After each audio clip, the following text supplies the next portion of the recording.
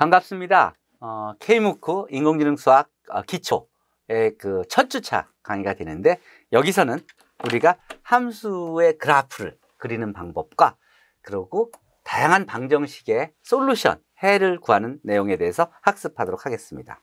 자, 그 어, 시작은 어, 코, 어, 수학과 코딩 이걸 어떻게 활용해서 우리가 그동안 해오던 이 방정식의 해를 구하는 걸 쉽게 어, 효과적으로 할 수 있는지에 대해서 어, 설명드리고 그 다음에 다양한 함수의 그래프를 그리는 다양함수, 유리함수, 삼각함수, 지수함수, 로그함수 등 다양한 함수의 그래프를 그리는 어, 내용을 설명드린 후에 그 다음에 우리가 그 함수를 그렸으면 이 함수가 x축과 만나는 이 솔루션이죠.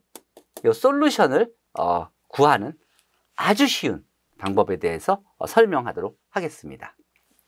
그 내용은 어, 이번 강좌를 위해서 어, 개발한 어, 이 어, 교재 또 lecture note 그 다음 실습실을 이용해서 스마트폰으로 모든 것을 할 수 있게끔 음, 준비하였고 어, 여러분들은 이, 실, 이 홈페이지 하나에서 14주 동안 배울 수 있는 모든 내용을 학습할 수 있을 테니까 전혀 부담 갖지 말고 이한 페이지를 쭉 읽어서 이해가 됐으면 아 이번 과목은 패스했다고 생각하셔도 됩니다.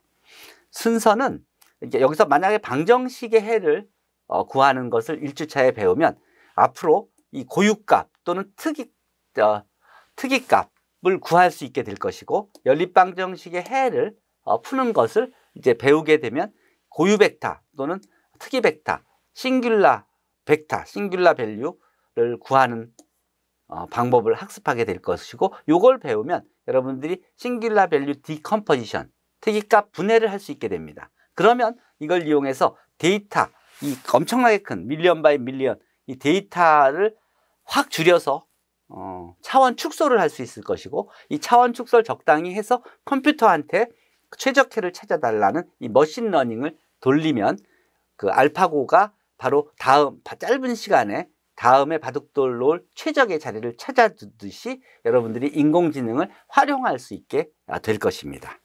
자, 실습실로 들어가 보도록 하죠. 음. 어, 우리가 이 교재 어, 어, 그 동, 그 왜 우리가 인공지능 수학이 중요한지를 설명했고, 이제 목차를 쭉 설명했었죠. 목차를 쭉 제공한 다음에 이제 인공지능이란 무엇인가에 대해서 제가 읽을 거리를 어, 제공했습니다.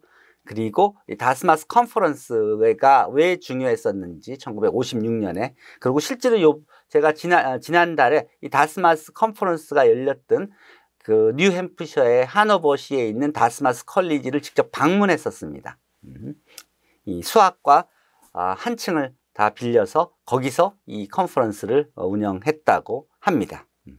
자, 그리고 참고 자료를 이렇게 다양하게 어, 제공했는데 이 참고 자료로 어, 제공한 내용에 보면 실습시뿐만 아니라 제가 그 동영상 강의를 해놓은 것도 제가 이제 그 지난 학기 또 작년에 이 강의를 해놓은 내용들이 다양하게 있으니까 여러분들이 참고하시면 되고 학생들이 실제로 문제를 풀이한 내용과 그리고 또 문제 풀이를 발표하는 내용까지 어, 여기에 다 있고 보고서도 다 포함되어 있으니까 참고해서 보시면 큰 도움이 될 것입니다. 자, 어, 그리고 음, 저기 오늘 어, 이번 1차 시에서 어, 우리가 배울 내용들을 간단히 보시면 먼저 이제 수학과 코딩 음, 코딩을 이용하면 우리가 그동안 복잡하게 어, 계산했던 그 계산 시간을 어떻게 효과적으로 줄일 수 있는지 즉 어, 함수의 그래프를 그리고 또 함수의 그래프가 x축과 만나는 면적을 구하고 그리고 또 그걸 회전시킨 그 회전체 3차원 도형이죠. 예, 그 부피를 구하고 하는 과정들을 어, 설명할 것이고 그 다음 2차 시에는 이 함수에 대한 소개를 하고 이 다항함수를 어떻게 그리는지 다항함수 3차식 같으면 어떻게 그리는지 그 다음 유리함수는 어떻게 그리는지 그리고 또 삼각함수는 어떻게 그리는지 뭐 사인 함수, 코사인 함수를 이렇게 사인 함수를 plot하라 또 코사인 함수를 plot해라. 그러면 바로 이렇게 그림을 그려주죠. 이게 파이썬 기반의 어, 언어입니다. 또 실습실을 제가 직접 만들어서 스마트폰에서 여러분들이 직접 그릴 수 있도록 해드린 겁니다. 지수 함수를 어떻게 그리냐, 로그 함수를 어떻게 그리냐는 예를 들어 로그 함수는 이렇게 로그 함수를 어, 그려라 하면 이렇게 그려지죠. 이걸 이용하면 이 로그 함수가 x축과 만나는 요 값, 즉 솔루션이죠. 방정식의 솔루션을 구할 수 있게 됩니다. 그래서 이전에는 여러분들이 인수분해를 하기도 하고 뭐 식을 단순화시켜서 어, 답을 구한 다음에 조건에 부합하지 않는 것을 없애버리고 어, 조건에 부합하는 해만 찾는 그런 손으로 푼 과정들을 이제 훨씬 더 쉽게 할 수 어, 있게 됩니다.